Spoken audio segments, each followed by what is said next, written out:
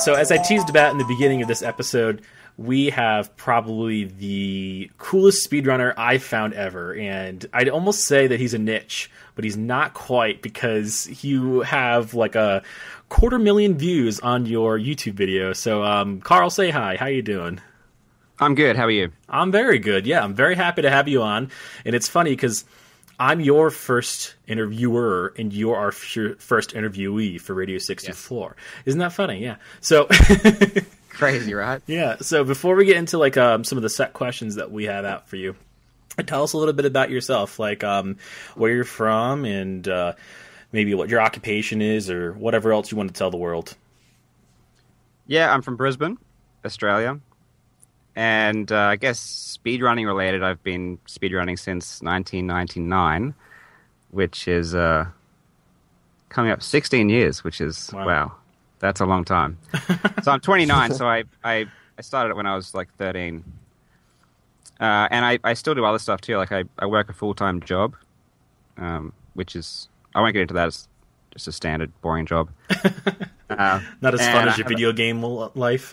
yeah, yeah, yeah. I have a girlfriend and I have, I have, a social life and stuff like that as well. So I, I, I, do really well to, to juggle all of it.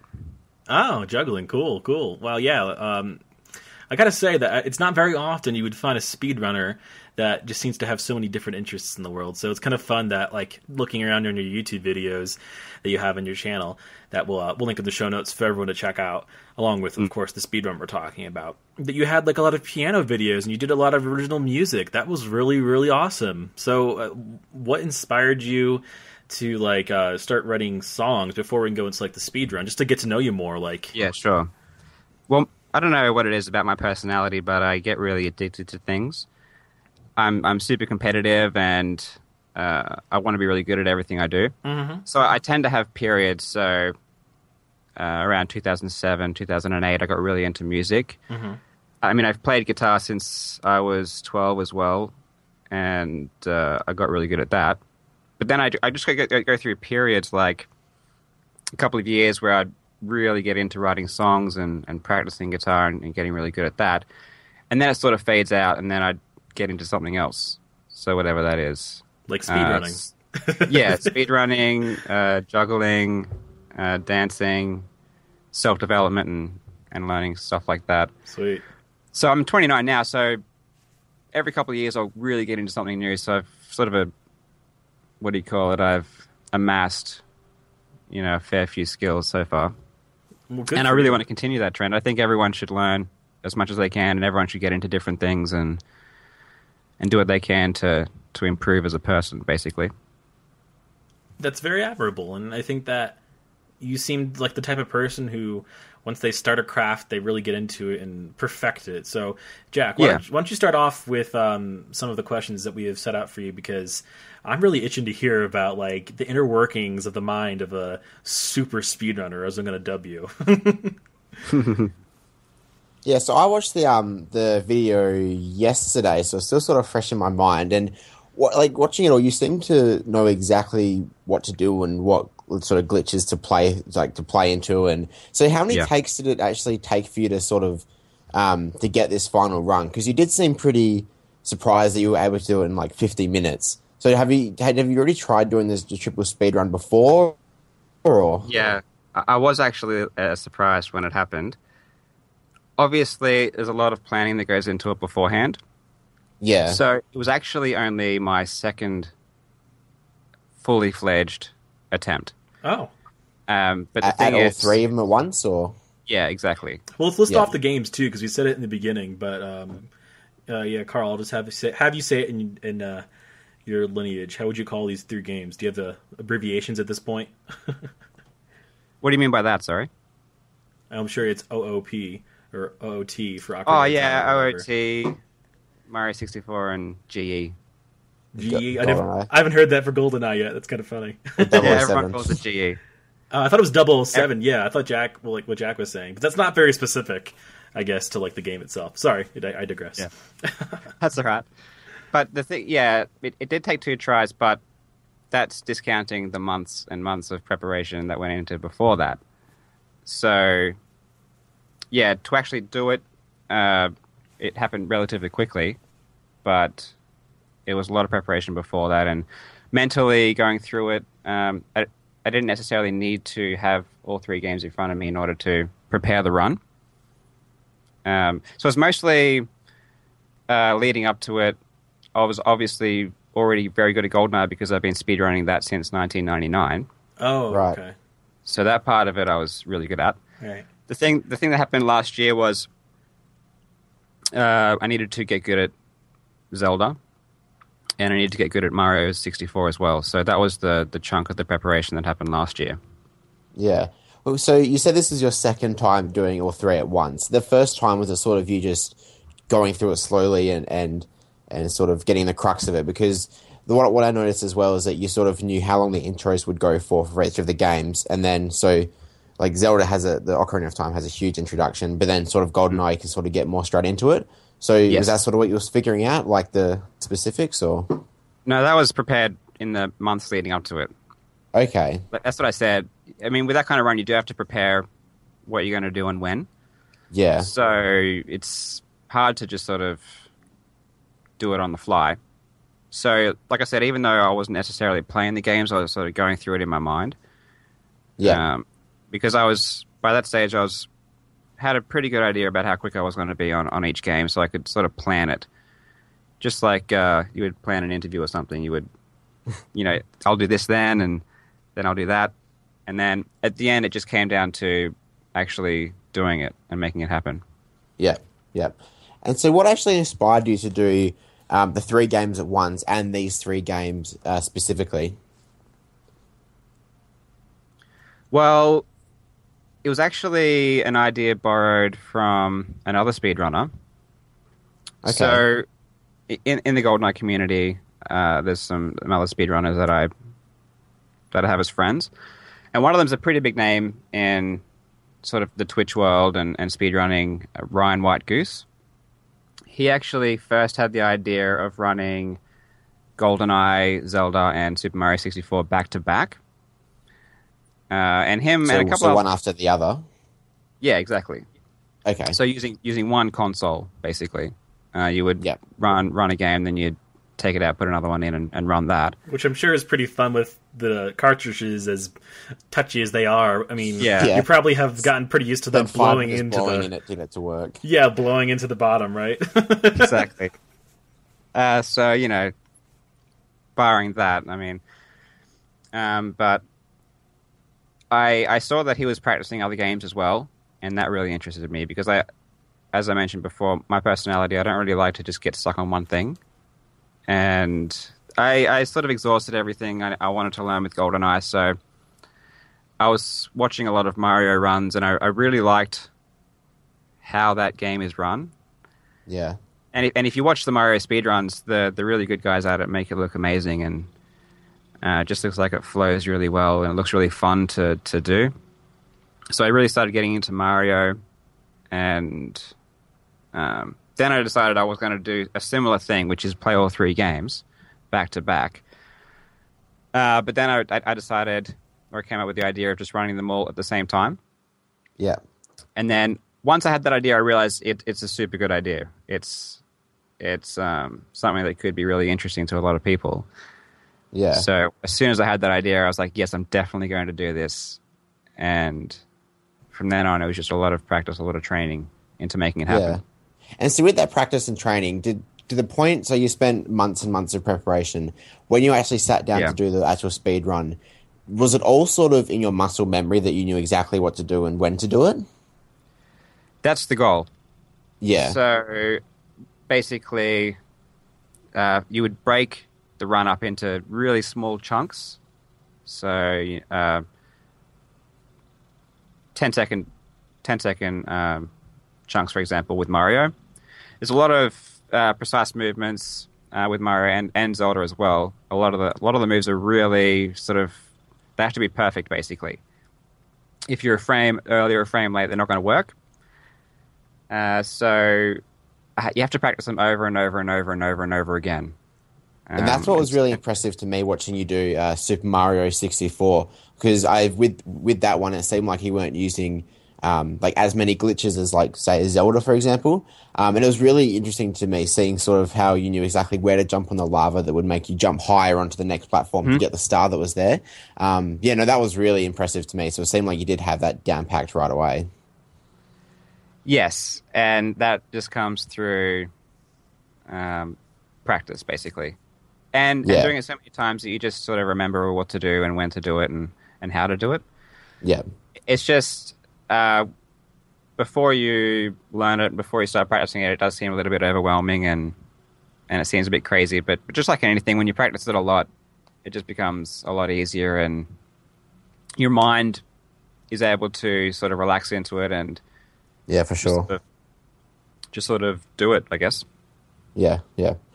So, so we mentioned that uh, that you used glitches uh, uh, to sort of get you through the, the speed run, especially with Zelda. Um, what glitches did, did you discover yourself in sort of your experience with and years of um, of gaming, and which ones did you sort of learn from from other sources? Well, I would say almost all of them I didn't learn myself. Zelda Yeah. has a has a huge community and a huge history Oh yeah, of, of speedrunners. So that that was that's been run since around the same time GoldenEye was run as well.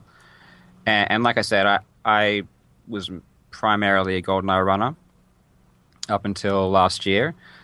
So by last year, most of the major glitches have been found. Um, Yeah. So I, I was. It was my job to basically learn them from other people, uh, watch videos, get advice. So I would stream uh, online while I was practicing and and get someone to watch me, someone who was was better at Zelda or GoldenEye, or not GoldenEye, sorry, but um, Zelda or Mario, and give me advice and say, you know, you're doing this wrong. You do it like this. And it's just basically a process for me was to learn them from from other people and and learn them from videos that have already been done. yeah, yeah. Awesome. Wow. So it's Mitch- really it's sorry i was just going to say it's really hard to to actually come up with glitches these days because the games are so fleshed out that that a lot of them had already been discovered.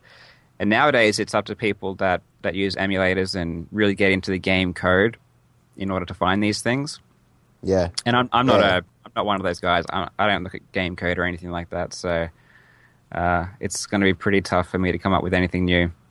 Yeah, and uh, Mitch and I last episode, um, we sort of mentioned how there was a secret room in um, a, a Link to the Past, uh, Yeah. the Zelda game, um, with somebody who won a contest, and they got their name in a room. But the only way that they found it was through sort of the emulators on the computer. So it's just funny how much Yeah. you can find when you actually hack into the game code. Exactly. That's that's Yeah. where the majority of things are found. And, Yeah. and if you look at the glitches in Zelda, they're so crazy. They're so so weird that it's going to be pretty tough to discover them unless you're looking at code. It to to accidentally do them would be the odds of that would just be astronomical. So it's it's really Yeah. the guys who are really really looking into the game in that kind of way that really find these. Yeah, And then yeah, it's up to people. Then it's up to the guys who are really good, uh, skill wise at the game to, to pull them off and make them happen. Yeah, You usually find on, on message boards, some some guy who's looking at the code will say, "Hey, I found this weird thing. Right? Can we can we use it?" And then the guys who are really good at the game just practice it and practice it and see if it can be done. So that usually that's usually how the big ones are discovered.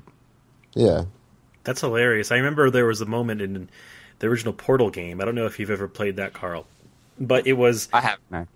Oh, okay. Well, essentially, you were supposed to like puzzle way through um, the game, and you know what a portal is, but I'm, assuming um, by only using a certain amount of portals to like beat an objective. So what I would start doing is I would I don't know if this is really considered a glitch, and this is the most I can really relate to like the craft that you do, but um.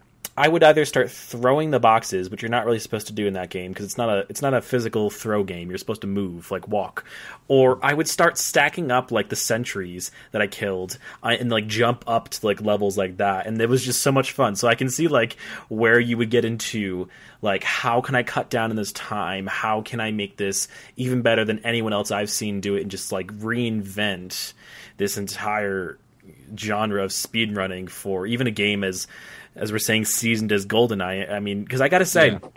when I watch you play GoldenEye, I am the most impressed by that. Jack is most impressed by Mario 64. I can see why, but I think that there's a certain subtlety to what you do in GoldenEye because you just you know where everyone is in every room. You know what locks Yeah. to shoot. Yeah, that was the most impressive. So I mean, I can really tell that that was like your main game that you really liked getting into in in the beginning. So it definitely shows. De- yeah, definitely. Uh, most people would say would be able to look at it and see GoldenEye as my my main thing. Especially all, all of the GoldenEye runners would be like, well, anyone who's sort of really into Mario and Zelda, the speedrunners, won't necessarily be impressed with those runs. Uh, but GoldenEye was definitely one that, everything aside, was a good run. Well, that's interesting that you would say that people wouldn't be as impressed by like Mario 64 or uh, Ocarina's speedruns that you did. Uh, so then that begs the question: Why didn't you perfect those to the highest umpteenth degree before releasing them? That would take a lot of time. Yeah, a lot of time. The the the video when I made it, it was for people who weren't really into speedrunning, and I knew that you know when they saw it, they'd be like, "Wow, this is this is crazy," right? It it was it was more of a an artistic thing. Mm. So I wanted I wanted uh, to make a video that people could watch who weren't into speed into speedrunning that they would just really enjoy and and sort of be impressed by. When it comes to like the really subtle nuances of running the games, it's the payoff lessons, I guess. Uh, so I could have really practiced Mario more and kept getting into Zelda, but it would be a smaller and smaller percentage of people who would actually really appreciate it right. and I had to balance how much time I'm going to invest in it, and because to get to get really good at Mario, you would have to spend an entire year and sort of devote your life to it. Uh, Yeah. and, and same with Zelda. So, luckily, I had done that with GoldenEye already. But yeah, it would have been would have been years for me to get really good at both. There's only uh, one one person that I know of who's really, really, really good at all three.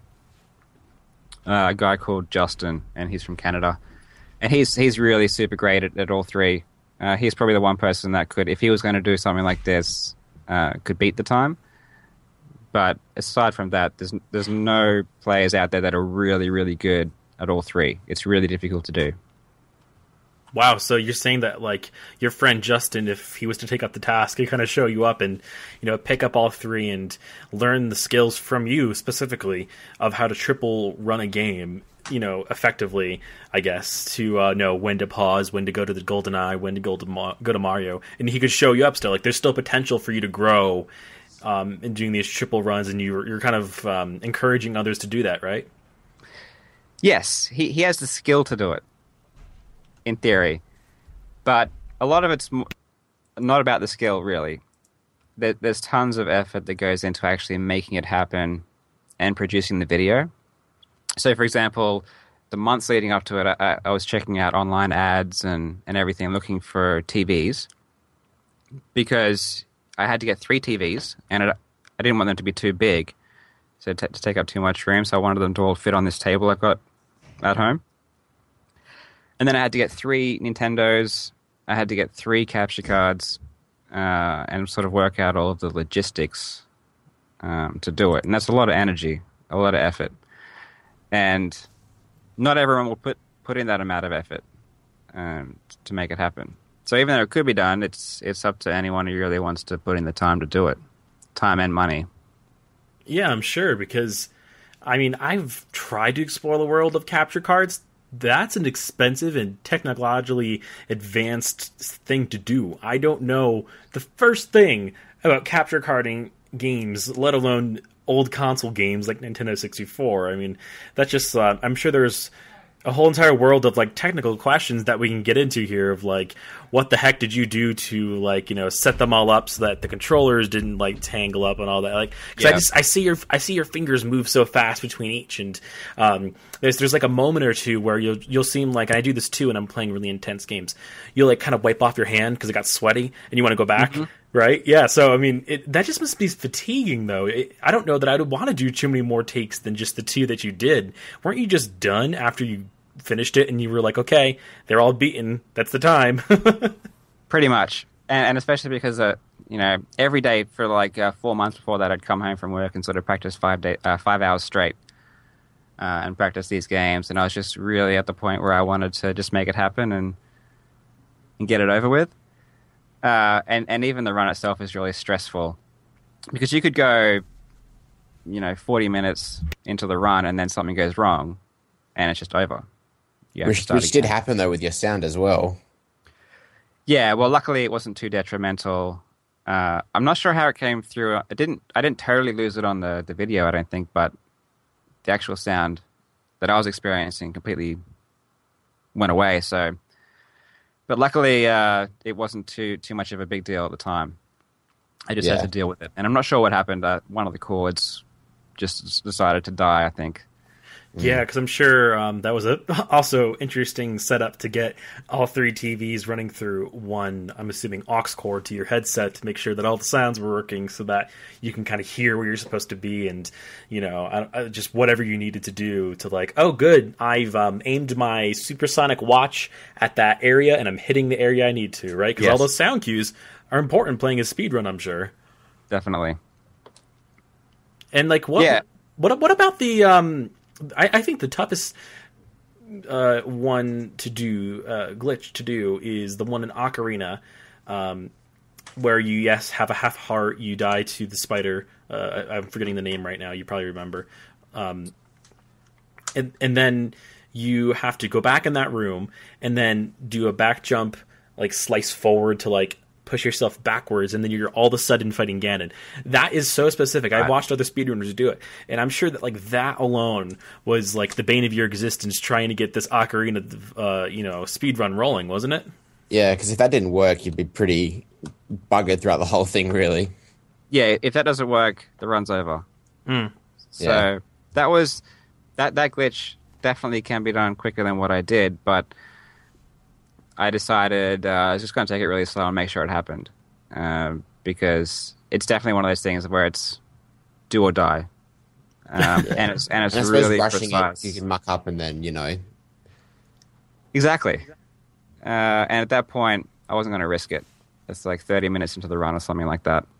Yeah. A- and hands are sweaty, uh, shaking a little bit just due to the anxiety of getting it and, and stuff like that. And the nerves are running through. And because the, the movements are so precise, it's, it's really hard to control. So it's, yeah, it's really intense. And I just wanted to make sure I, I actually got it. Well, speaking of glitches, then how do you respond to people who claim, as I as they often were on the the comments section of your video, that this wasn't a true speed run because you were quote cheating, even though in the beginning, and as I agree with you, you say in your video, I have not used any cheats here. You haven't. You've used glitches. There's a, there's, there's a difference. So define that difference. difference Yes. for our listeners. So that I mean, uh, we can kind of spread the good word about what you're trying to do here. cheats are you know the things where you put in a code and become invincible or or something like that i mean i think inst- instinctively most of us know what a cheat is just by its definition Yeah. a glitch is something uh, part of the, the, the standard playthrough of the game something that anyone can do uh, and it doesn't give you any sort of special powers it doesn't give you any um, any unfair advantage, basically. Uh, and it's just sort of taking advantage of a flaw in the game, um, or a bad design, or something like that. And even though I- the game wasn't designed for that sort of skill, there is still a lot of skill in being able, being able to pull that off, you know? Well, it's harder than beating the game normally. I'd say. It's it's Yeah. a thousand times harder. I could casually play through the game a thousand times and not die. It, it's it's it becomes like a joke. It's it's fun, but it's not difficult. Everyone plays through the game casually. It's not it's not a challenge. Um, pulling off the the glitches and pulling off the tricks takes a lot of practice, Yeah. and you don't get it every time. And even the the best players in the world stuff them up. It they're not something that you can just easily do. They're not easier than playing through the game. And the the point of a speedrun is not, hey, look, I did this cool glitch. That's not the point. Um, the point is, hey, I got to the end of the game in this amount of time, and that's that's where the difficulty is. So it's not the the tricky. The hard part is not doing all the glitches. The hard part, or even though they are hard, the hard, the really hard part is doing all of the glitches quickly, um, in one go, and getting to the end. Yeah. I'm sure. And uh, we have we have a couple of funny questions for you just to um, wrap it up. That I'm wondering now, what do you do with three Nintendo 64s? Is this just Yeah. do you keep them?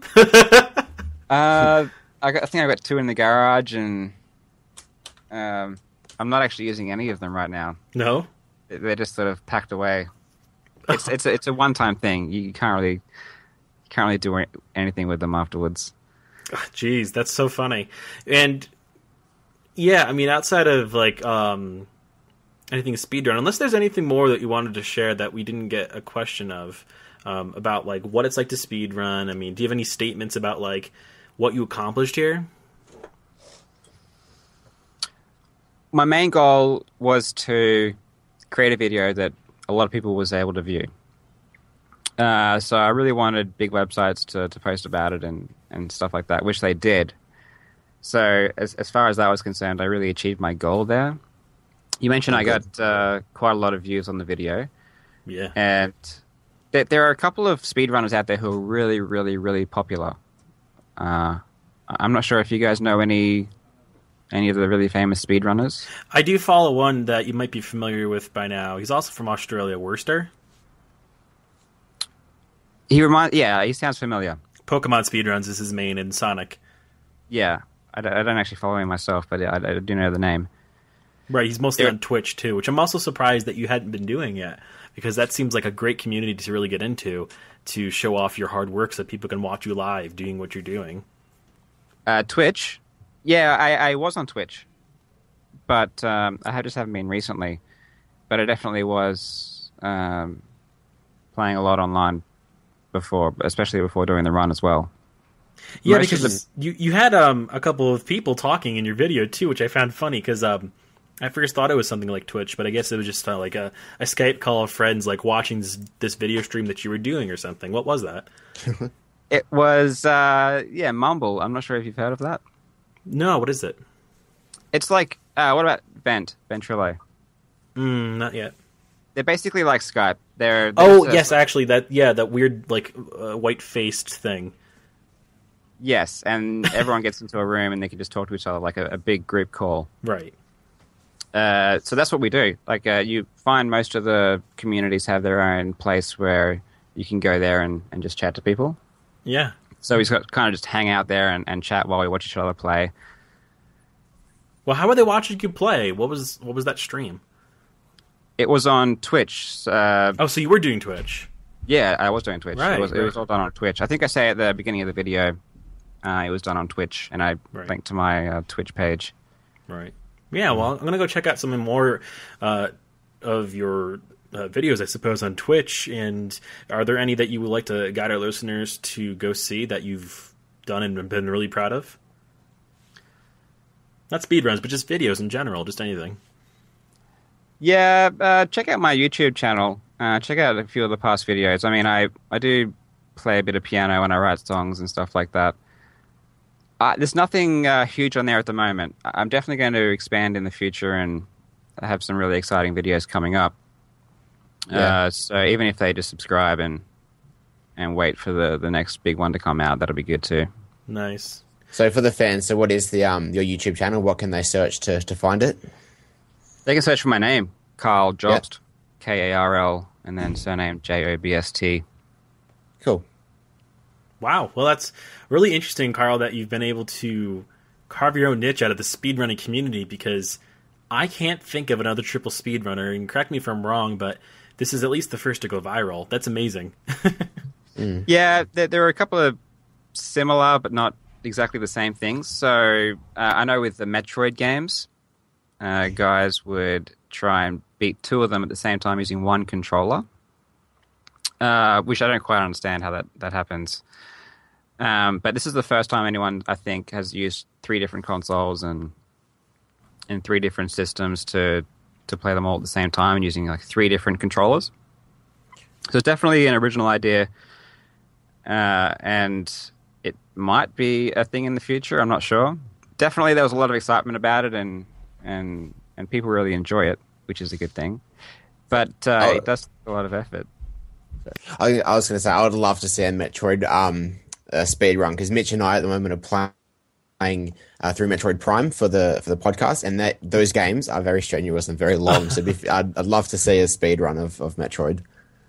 Sure. Well, I mean, there are plenty out there already. I, I don't think I'd personally get into it myself, but Yeah, if if anyone is even enjoying a game that they're that they're playing at the moment, they should just do a YouTube search or a Google search for a speedrun of that game because it's usually communities of of all of the popular games have a whole bunch of people who are really trying to sort of break it and um, complete it really quickly, and it's just really, really, really amazing what people come up with and what people do.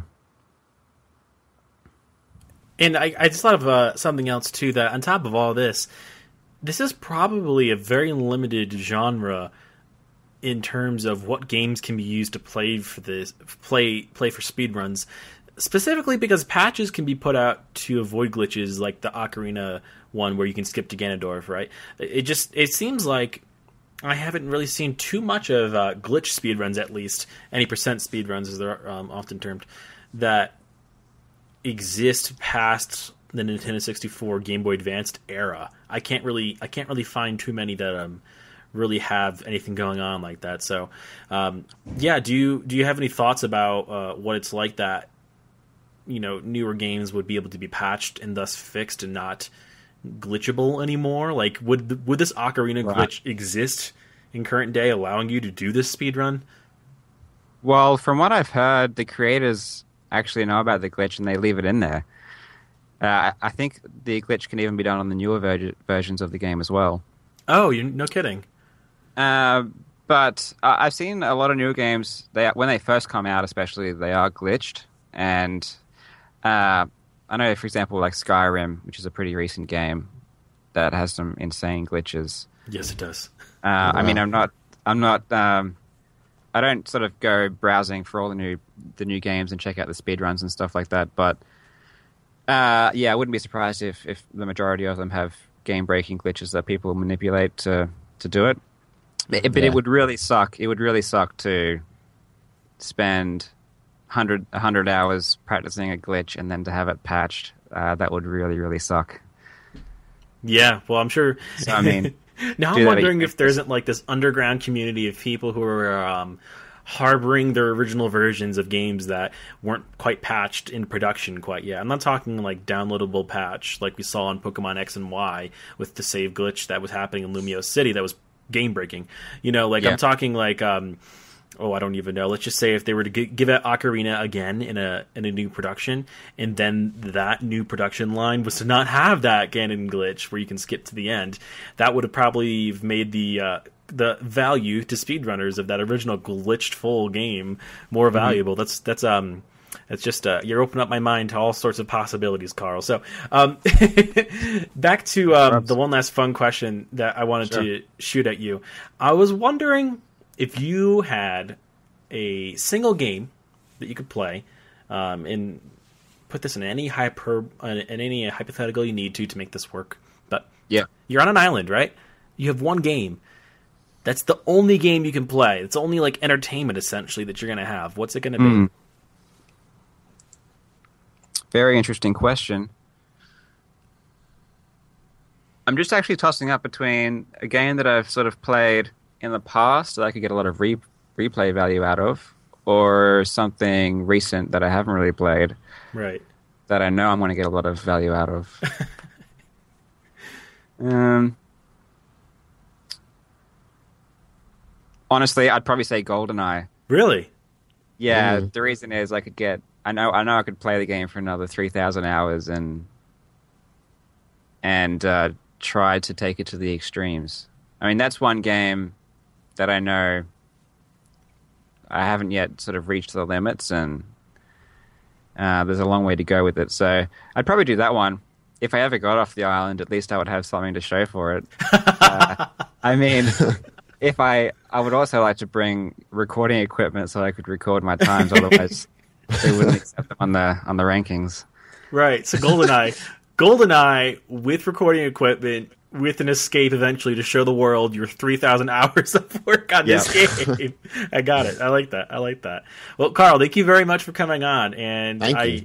yeah, I really appreciated the unique perspective you had to the entire speedrunning community, and it's um, it's been a pleasure. So uh, thanks, and uh, hopefully we'll talk to you in the future. Thanks a lot. Thanks for having me. I really appreciate it. Absolutely, yeah.